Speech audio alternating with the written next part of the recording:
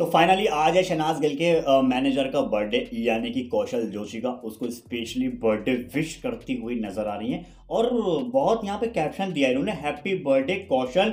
I God bless you हमेशा। भाई party party card party कहाँ दे रहा है? तो ये ये ये देख सकते हैं स्टोरी लगाया है।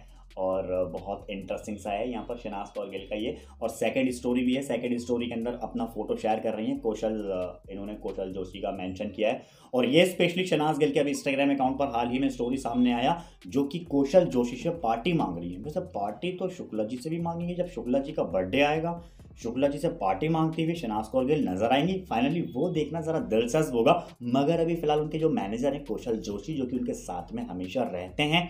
उनका बर्थडे है और उनके बर्थडे के स्पेशल मौके में उनसे पार्टी मांगती हुई नज़र आ रही है। फ़िलहाल ये क्यूट मोमेंट है। चलिए लाइक सब्सक्राइब करना बिल्कुल भी ना भूलिएगा कमेंट करके राय अपनी ज़रूर बता सकते हैं। आप कितना शनाज गिल को पार्टी देना चाहेंगे?